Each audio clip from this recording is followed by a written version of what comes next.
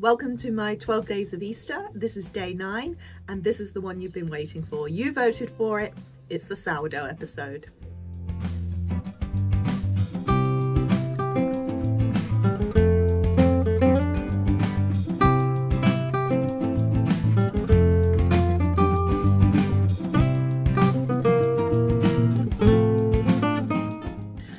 This is not a cookery or a baking channel. Um, I'm kind of going out of my lane here, although sourdough does feature in my longer episodes quite often. So I thought the way in which we would do this is I will show you the process of making the sourdough, but intersperse it with some bits in the garden because it is a glorious day today and there's some beautiful things coming up. So we'll do the sourdough, but we'll also have a nice wander around the garden and see some other things that are coming up now that we're in April. So I need to head inside now because the sourdough is ready to go in the oven. We're going to send you back in time to not one night ago, but two nights ago when this whole process started. Well, we're in the kitchen because you asked for it. This is the sourdough episode. People have been asking me for this since I started, so it's finally come. So sourdough is a type of bread that only uses water, flour and salt and utilizes the wild yeast in those ingredients to create a fermentation process that gives you the lift um, that you have in bread that rise. So you need a starter and I'm not going to show you now, although it is very easy and I'll put a link in below. But once you've got a starter, then you've pretty much got a starter for life if you look after it and you can continue making bread from your starter um, as much as you please. And it has a lovely, mm, lovely yeasty smell to it. And I fed my starter last night. So that's the first step in making your sourdough is to feed your starter.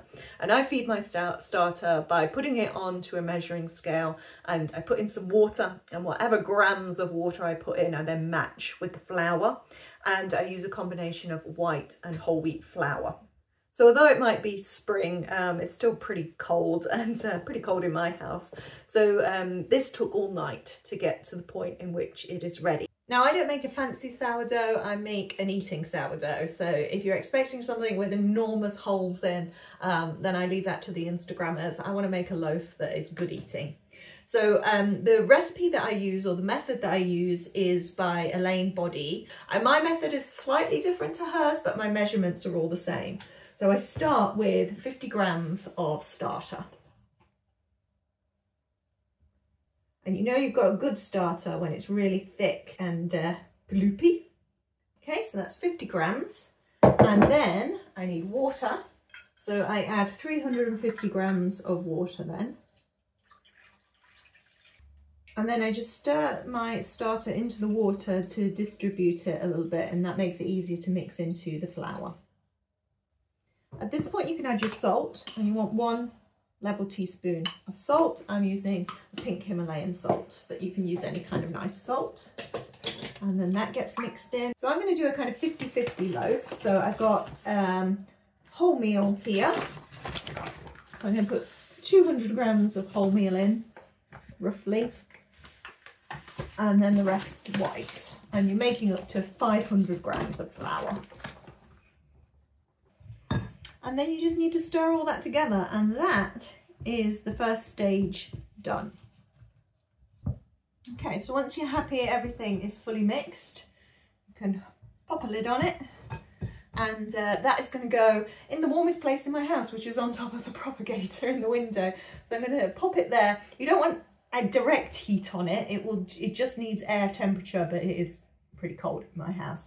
So that's where I'm going to pop it and we're going to come back in about an hour and a half. So out we come into the garden on this lovely morning and let's have a look at what we've got. What do I want to show you first? Well, to be honest, this is the main reason that I decided to do this because I wanted to show you this tulip. Oh my goodness. How gorgeous is that? Now I think this is a brownie tulip um, it's a last year's tulip, so been replanted, but it's got a lovely long stem on it, so it's done really well.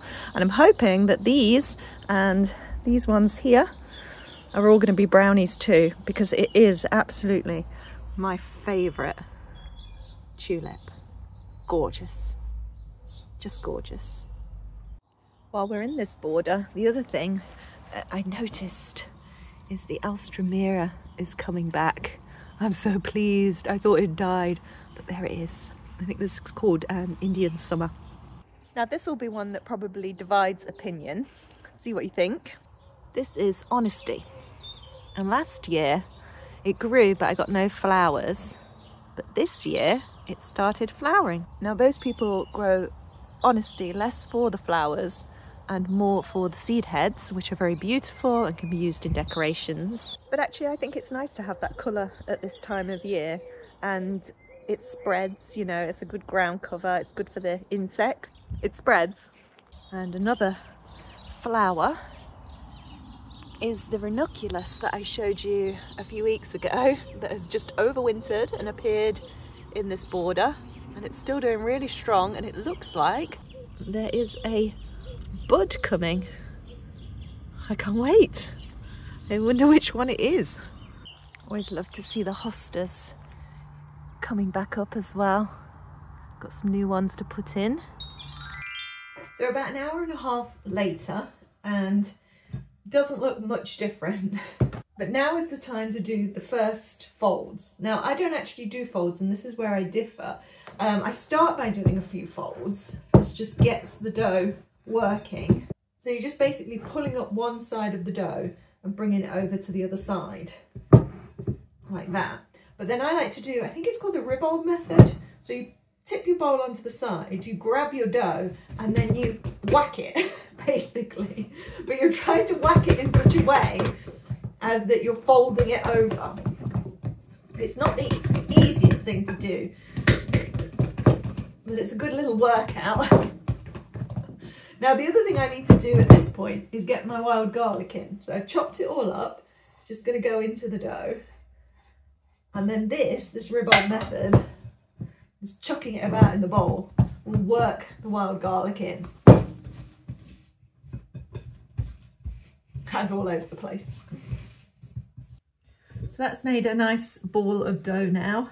And um, I can put the lid back on, pop it back in its warm spot, and we'll come back in another hour.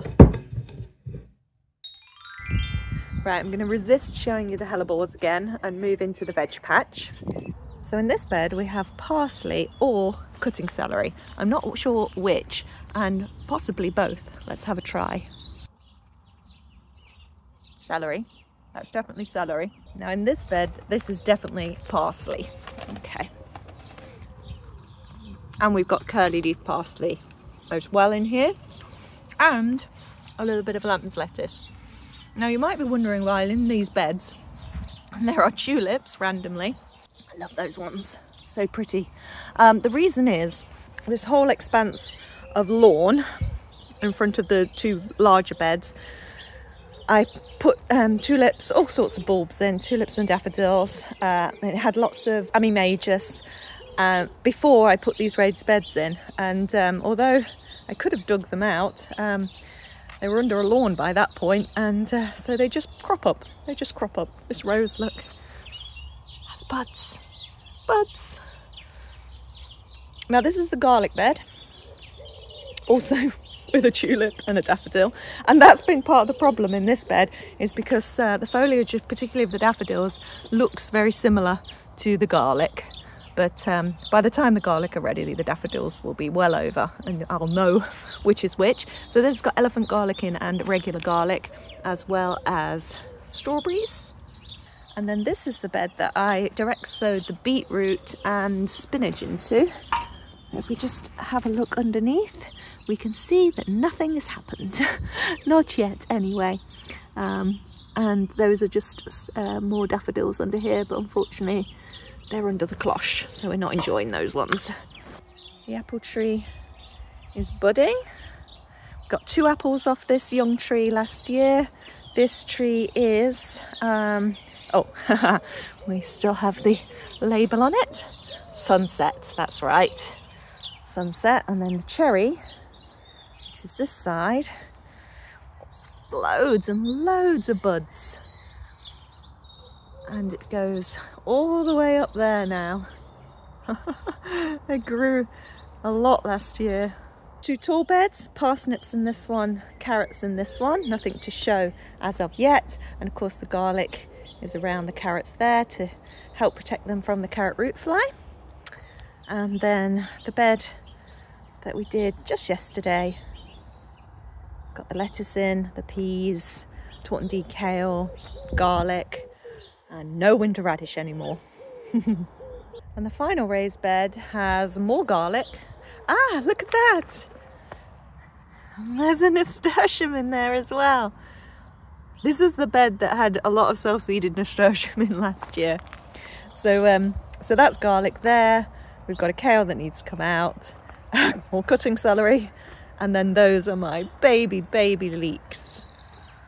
Oh, poor little leeks.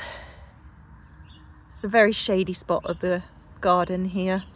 I don't know if leeks were the best thing to have in there. Perhaps brassicas this year. An hour later, and it's a lot more elastic now so you can fold it over quite easily and it makes a nice smooth ball when you're finished. back on the propagator for another hour and we're going to do that twice more.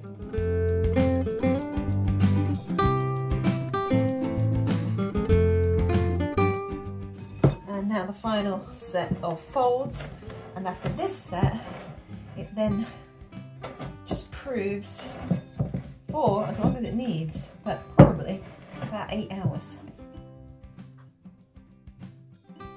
Thank you for watching. I'll see you tomorrow for day 10.